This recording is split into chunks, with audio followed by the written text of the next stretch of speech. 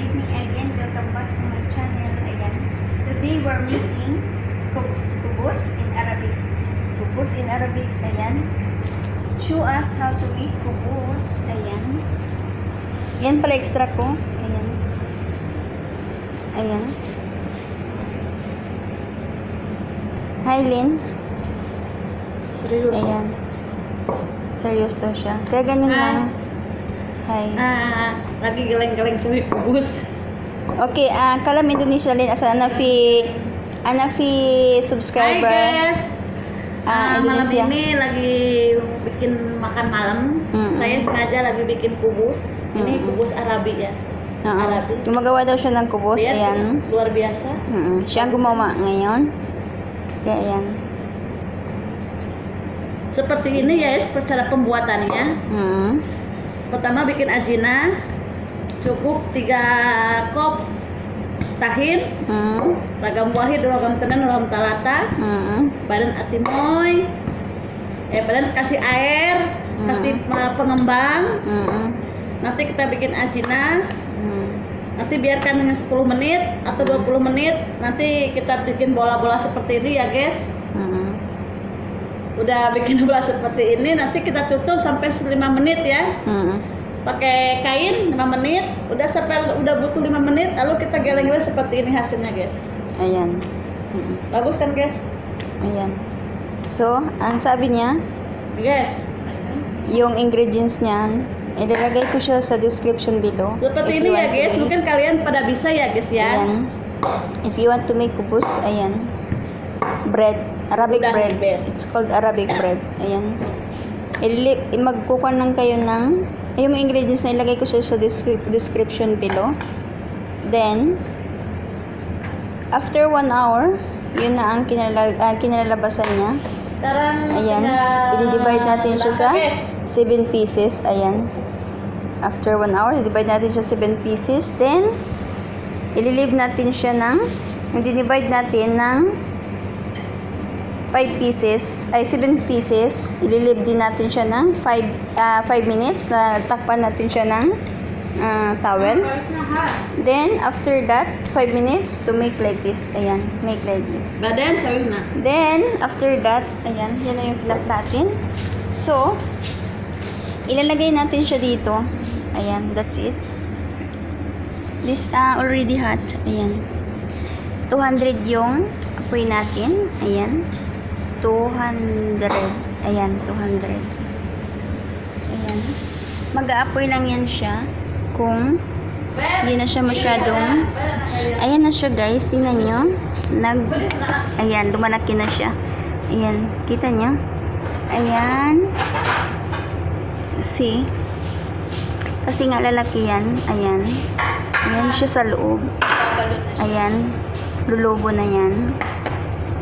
Tingnan nyo, parang nagbabababol siya doon sa loob. Ayan. Ayan, parang nagbabubbles na siya sa loob. Ayan. See, see? Ayan. Ayan na siya.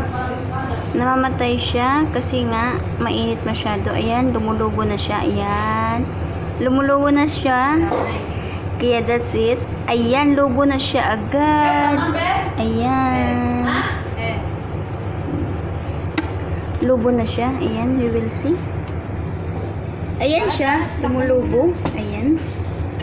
Lumulubo siya sa loob. See? Ayan, namamatay yung ilaw pag mainit na siya. Ayan. See? Ayan na yung kubos natin. Nag... Ayan na. Naglulubo na. Yan yung tinatawag na Arabic bread. Ayan. May see? Lumulubo siya. Ayan. Ayan. So, ayan. Ayan na. Lumulubo na siya ulit. Ayan. Ito yung pinaf natin. Lagyan nyo ng flour pag magpa-flatten kayo para hindi siya didikit. Ayan. That's it. Our kubos. Ayan na siya guys. See? Lumulubo talaga siya. Ayan. Basta mainit siya. Lumulubo. Ayan siya. Ayan siya. Mm. Ayan siya. Medyo nagbo-brown na siya. Pag medyo brown-brown na siya, okay na siya. Ayan, ganyan. Ganyan lang yung pagluto ng Arabic bread. Kaya ingredients nito, ilalagay lang natin siya sa description below. Ayan, gagawin nyo lang siyang dough. I-leave ng 1 hour. After 1 hour, i-divide nyo ng 7 pieces. After you divide 7 pieces, cover with the towel. Then, leave for 5 minutes again. And then, after 5 minutes, you flatten it. Ayan. Lagyan siya ng flour para hindi siya didikit. Okay na to. Ayan. See? Dito natin siya ilalagay. Then, after that, yung kuhan, hindi natin ilalagay. So, ayan. Ilalagay na natin siya. Oops. Ayan. See? Dito lang. Kaya takpan natin.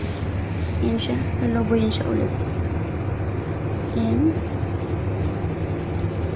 Ayan, aapoy lang yan siya kung mainit na siya. Kung umiinit. Ayan.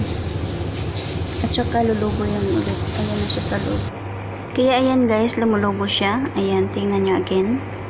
Watch again. Lumulobo siya sa loob. Ayan, ang laki na siya na pagkalubo. Ayan. Ganyan. Maganda yan. Ito yung paggawa nyo. Maganda siya. Automatic na siya. Ayan, ito. Ganitong model. Ayan. Maganda siya dito.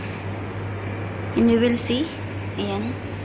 Di ba ang nice? Lumubo siya. Ayan. See? Ayan. Ayan siya. Pag mainit, namamatay. Pag kuha naman siya, may ilaw na naman siya. Ayan, nasa loob. Ang laki na siya. Ayan. Ito pa. 7 pieces to guys. Ayan. Okay, ayan. See? Ayan, lumubo siya masyado. Ayan. Ayan na siya guys. Ayan, ang ganda na ng Arabic food nat Arabic bread natin. Ayan. So, that's it, our Arabic bread. That's it, our Arabic bread. Ayan. See you next time. Don't forget to like and subscribe my channel. Ayan, guys. See you again. Bye-bye. Bye-bye, guys. Ayan. Ayan, guys. Bye-bye. God. Stay safe.